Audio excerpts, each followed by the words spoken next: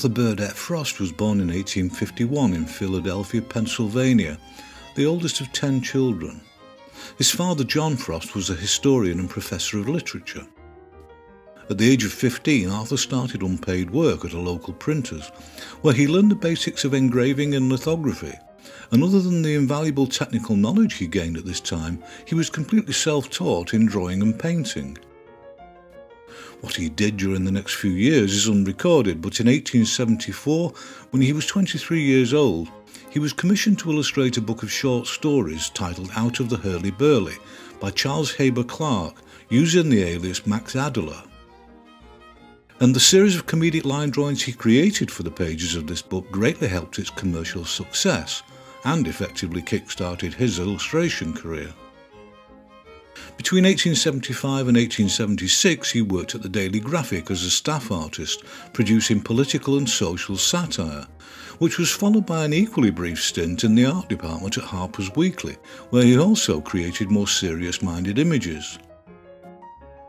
In 1877, Frost relocated to London, where he's said to have created work for Punch magazine, although I found absolutely no evidence to support this but during his stay he certainly illustrated quite a few Charles Dickens stories, with a series of compelling narrative images which successfully evoked plausibly English scenes and characters of the period.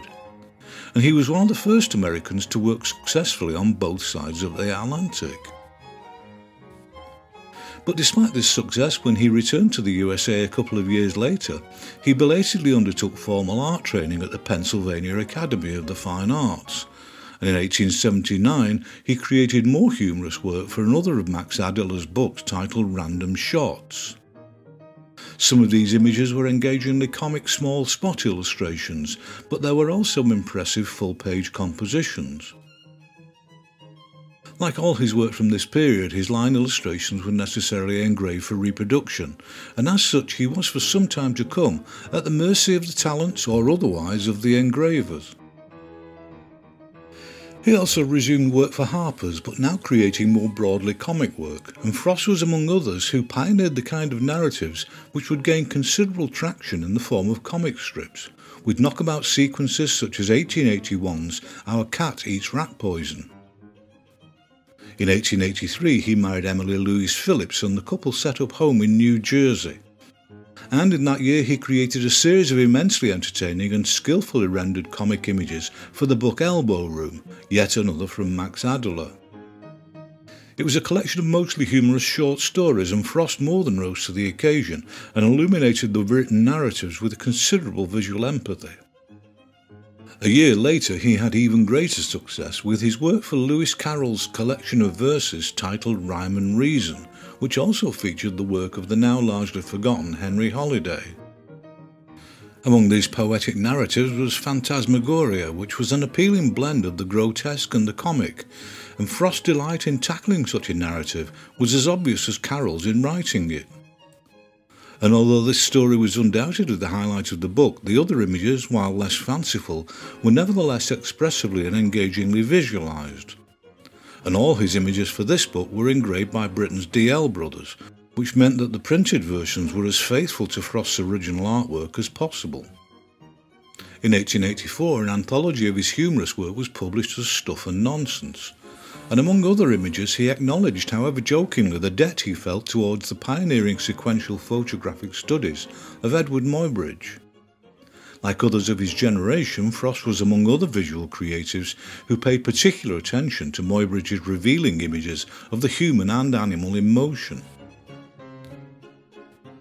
This whole book was an effective object lesson in how to create comic images, which, however implausible, still had the ring of authenticity and all too credible humanity to them.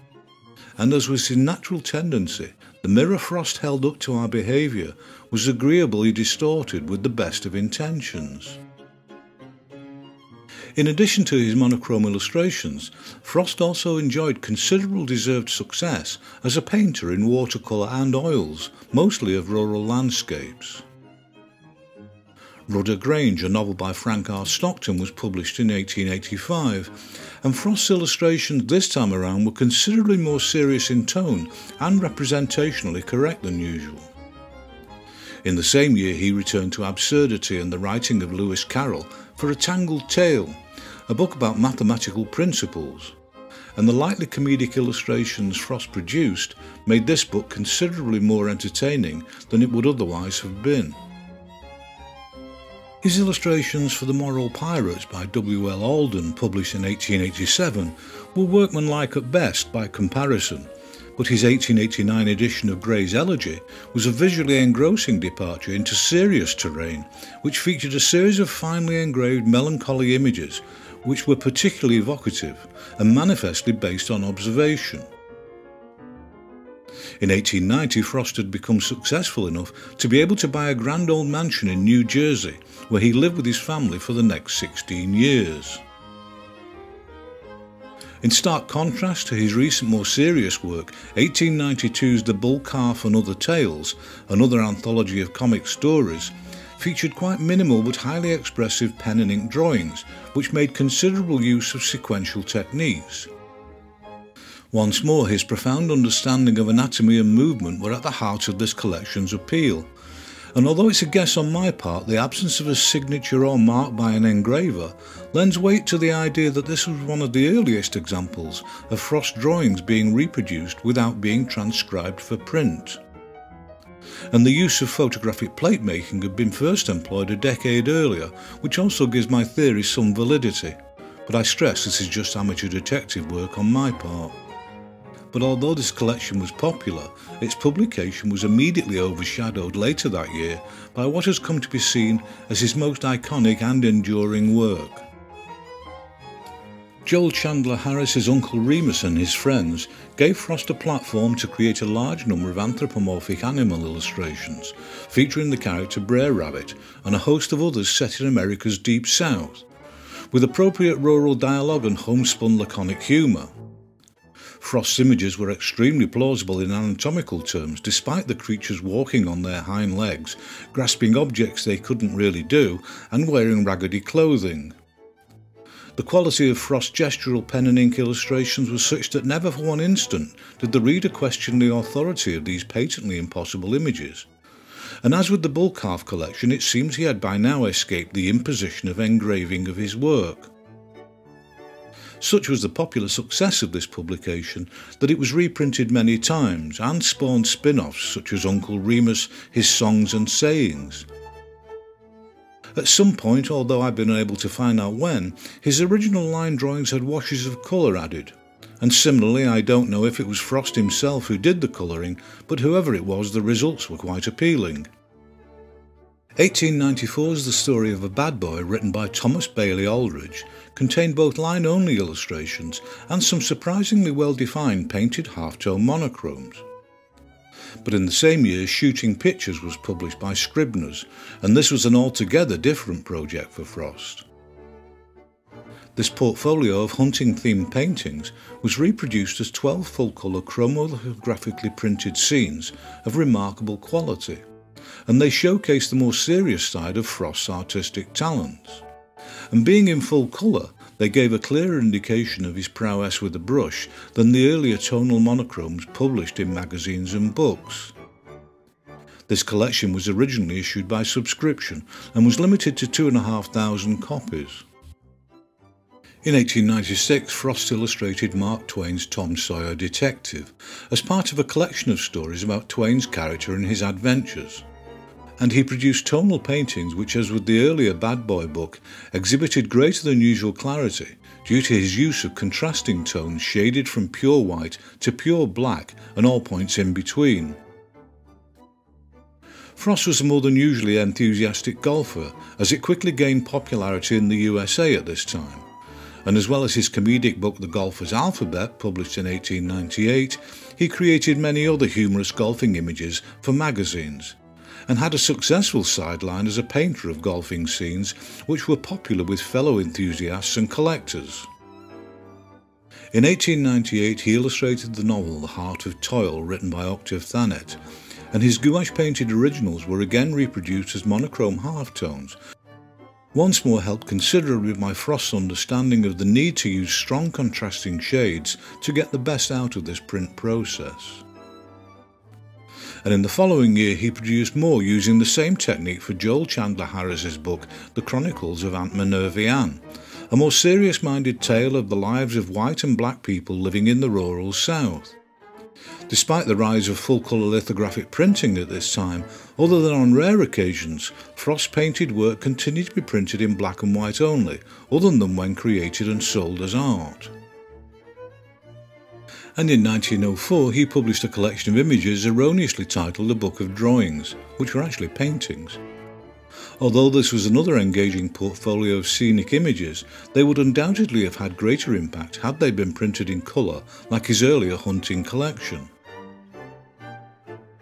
A year later, Back Home, written by Eugene Wood, was published with a series of particularly evocative and finely rendered pen and ink illustrations of small town America, captured very plausibly by Frost. In 1908, he and his family moved to Paris, where his children studied art, and at this time he increasingly turned to art too, with a series of paintings in oil and watercolour of the French countryside but he also continued to work from there on illustrations for publication back in the USA. And although he was nothing like as prolific as he had been, in 1912 he published his own story, Carlo, about an endearing dog character and his interactions, both good and bad, with humans. And this was another well deserved popular success. The Frost returned to the USA in 1916, no doubt to get away from the raging war in Europe, and they settled at that time in New Jersey and later Pennsylvania. After his return to the United States, his comedic pen and ink work appeared almost exclusively in the humour magazine Life into the early 1920s.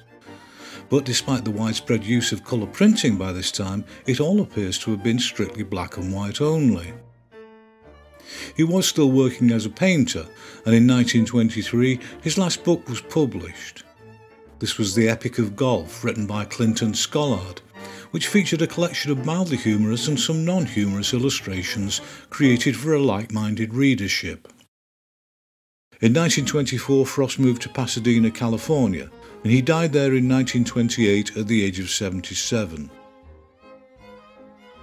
Like others I've featured in this series, A.B. Frost straddled the 19th and 20th century with considerable success, and in his day he was well known and a highly respected figure. Those who know of his existence now are primarily aware of the Brer Rabbit illustrations, which are rather iconic in the USA in a similar way to Tenniel's Alice illustrations in Britain. There was much more to him than that admittedly momentous collection of images. Personally, I find it a pity that he never really harnessed the potential of full colour printing in his humorous work as others did, but that minor grumble aside, it's a body of creative image making few others could come close to.